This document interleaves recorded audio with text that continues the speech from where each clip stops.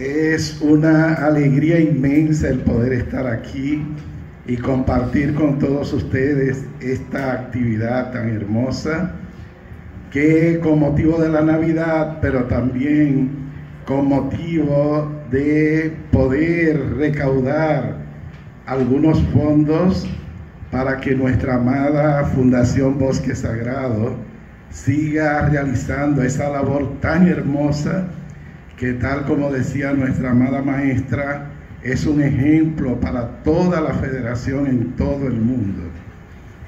Estamos en el tiempo de Dios y en este tiempo de Dios es una pena que eh, se invierten muchos valores que son fundamentales para la vida en nuestro amado planeta Tierra. Se invierten valores, eh, por ejemplo, para el entretenimiento. Ahora mismo se está viviendo un evento mundial que solo su montaje costó más de 22 mil millones de dólares. Solo su montaje para una actividad de varios días una actividad de entretenimiento.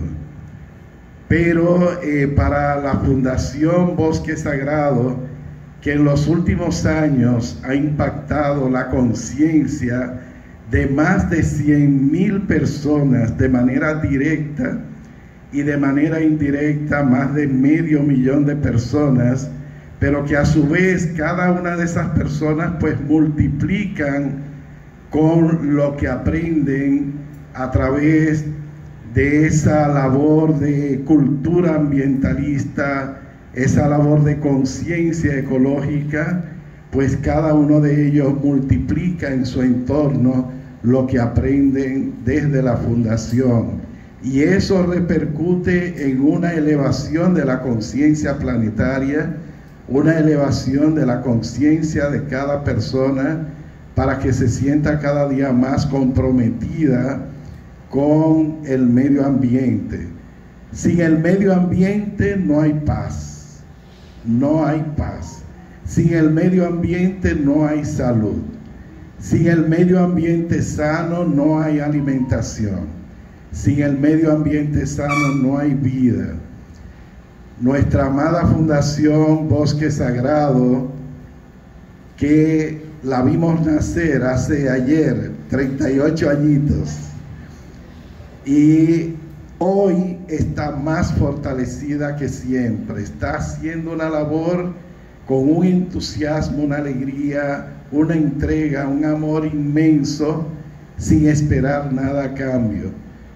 Es decir, que los años la han fortalecido, pero en este momento necesita la parte eh, vital, la energía que dan los recursos económicos para continuar realizando su gran labor. Así que le pedimos a todos los presentes que se unan a un grupo de nosotros que todos los días estamos elevando nuestras oraciones para que se les restablezcan los recursos necesarios a la fundación y que pueda seguir haciendo esta gran labor que realiza.